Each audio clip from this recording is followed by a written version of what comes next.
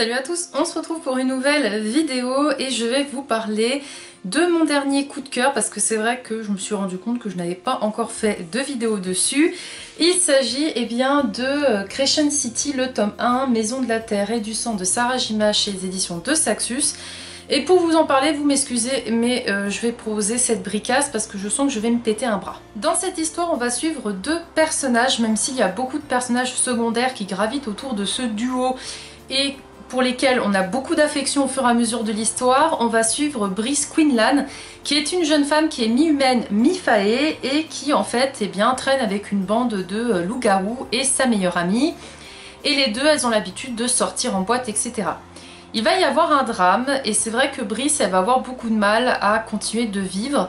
Elle, euh, a du mal à se remettre de, ce, tragique événement. Et elle va se retrouver à devoir enquêter sur euh, eh une série d'attaques qui se passe au cœur de la ville de Crescent City. Et elle va devoir travailler en duo avec Hunt Atalar qui est en fait un ange qu'on pourrait dire déchu en fait, il représente clairement la mort, il travaille euh, pour d'autres archanges et euh, son travail, c'est tout simplement d'éliminer des personnes qu'on lui dit d'éliminer. Donc ils vont former un duo assez euh, explosif parce que, eh bien, on a Brice qui aime assez taquiner Hunt et Hunt qui lui est plutôt à être de marbre, un homme vraiment imposant hein, qui, a du mal à sourire mais qui lui aussi est quand même brisé quelque part. Hein. Tous les deux ont vécu quelque chose de compliqué. Et vraiment, euh, au début de l'histoire, je ne vous cache pas, j'avais écrit à Fanny en mode je sais pas si je vais réussir à m'accrocher parce que euh, c'est un univers qui est quand même énorme, très complexe. Ça m'a fait un peu le même coup à la Nevernight en fait. Hein. Le tome 1 de Nevernight, le premier chapitre, je le lisais et je, me suis dit va falloir que je le relise pour le comprendre et c'est un petit peu ce qui s'est passé avec Crescent City au début, le premier chapitre. Euh, j'avais un petit peu du mal à comprendre mais finalement l'autrice nous balance en fait vraiment toutes les infos de son univers donc on se prend un bon truc dans la tronche au début, et petit à petit, elle le détaille, elle l'explique, elle le rappelle plus d'une fois, ce qui fait qu'au bout d'un moment, vous emmagasinez beaucoup d'infos, et vous retenez ce qui se passe. Donc après, c'est vrai que j'avais un peu plus de facilité à vraiment... Euh, voir ce qui se passait dans l'univers. On est sur un univers qui est quand même ok de la fantasy, mais qui est assez moderne, puisque les personnages ont des portables, etc. C'est le monde d'aujourd'hui, mais version fantasy, quoi. Et franchement, j'ai vraiment adoré. Il euh, n'y a pas forcément énormément d'action. Hein. L'action, elle pète vers la fin comme euh, Sarah Jimas a l'habitude de nous, la faire, hein.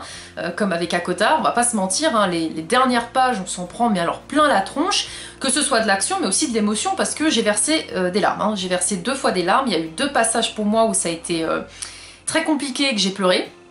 Parce que je vous dis, en fait, on s'attache vraiment à tous les personnages, même les personnages secondaires, on pourrait se dire ils vont pas apporter grand chose à l'histoire, et bah si. Euh, et, franchement, l'univers il est, il est dingue, et même s'il y a des fois eu des.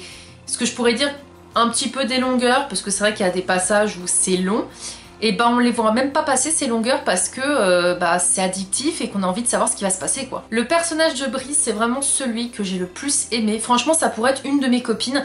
Elle est forte, elle est courageuse, elle est bienveillante, elle a le cœur sur la main c'est une fille qui, envoie du pâté, il hein, n'y a pas à dire. Et Hunt, je l'ai bien aimé aussi, même si pour moi, il est encore un petit peu mystérieux quand même. Hein. Je trouve que Sarah Jimas, elle a gardé un côté quand même mystérieux du gars, parce que même si on apprend à le connaître avec cette grosse pavasse qui fait plus de 1000 pages, et eh bah ben, on a envie d'en savoir encore un petit peu plus sur lui quand même. J'ai vraiment trouvé que cette histoire, elle était originale parce que on a un mélange quand même donc de fantaisie, mais aussi quelque part de roman policier dans le sens où ils vont mener une enquête.